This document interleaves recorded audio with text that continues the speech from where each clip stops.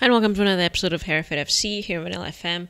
I am recording this one late because I've been ill the past few days, still not 100%. So, um, uh, what I decided to do, I just played through the end of the season, and now I'm going to go back and uh, I loaded up the match of the final, the final match for the season, and we're going to take a look and see how it ended. So, to put this into context, last season um, it was actually quite exciting. It was the last match, it was the decider match whether or not we are going to stay in the league. We needed a win, a draw was not enough. So, yeah, it was quite a crucial this match. But anyway, I had no voice that day, so there was no point me recording. So, we're gonna watch the key highlights. I think that'll be enough.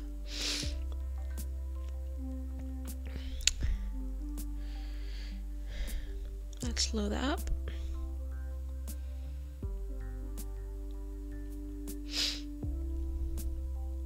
So he had three goals this this uh, this game.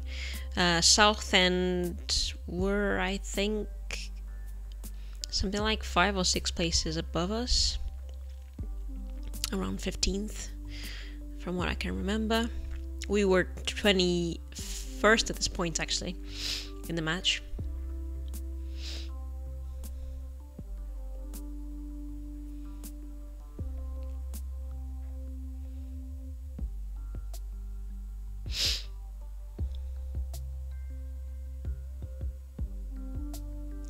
And uh, yeah, so a lot has happened since this match.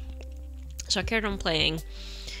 Uh, started doing the prep for the new season. I actually started the new season already. I did, played uh, one match. I don't know if I played it. I'm not sure if I played it actually. No, I haven't played the new match. I played the friendlies. Um, the first match is coming up.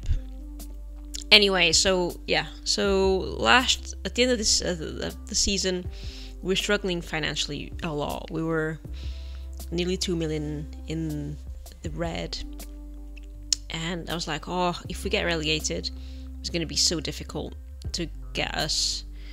A lot of you know, a lot of players will want to leave. A lot of the staff will want to leave. Our revenue will drop. It's going to be really difficult. There was a chance that it could actually be good for the club because we would slim down a little bit we probably still would still be good enough to be promoted again, but maybe you know something would happen and we get our finances sorted. But actually, what happened was the opposite. So we stayed, as you can see from this match, we stayed in the league just enough by the skin of our teeth, um, and then um, it coincided with us having paid off uh, a loan, so we're no longer in any sort of credit. We don't have any sort of credit to pay off. Um, so we don't have to play loans back anymore. We also managed to sell two players uh, for a considerable amount of money into the hundreds rather than anything.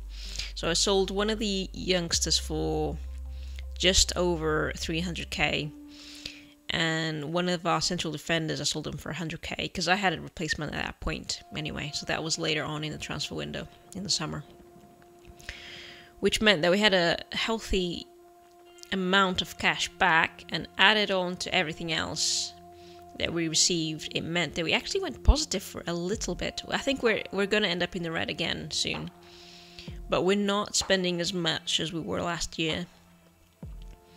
We managed to slim down our wage bill as well. So it, things are kind of looking on the up. I still won't get any. I've, I've asked the, the board to expand the stadium, they still haven't accepted it. Even though we were in actual positive figures in the bank. But yeah, so we're still not gonna have an expanded stadium.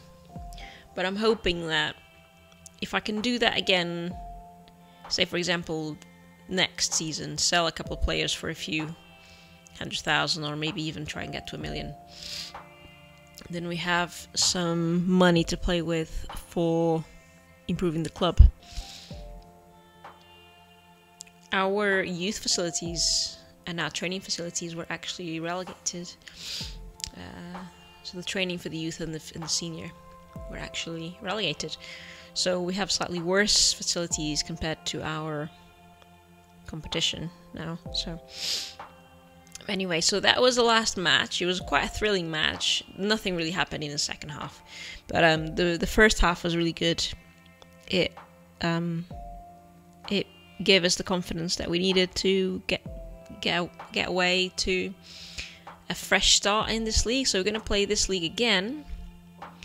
And where are we now? We are going to start. Where am I looking? Where's the league? There we go.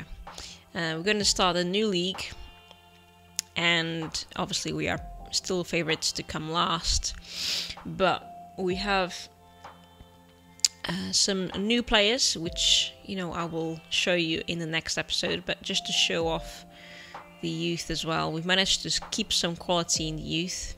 I mean, still have to sort out the under 21s, but the under 18s is looking not bad.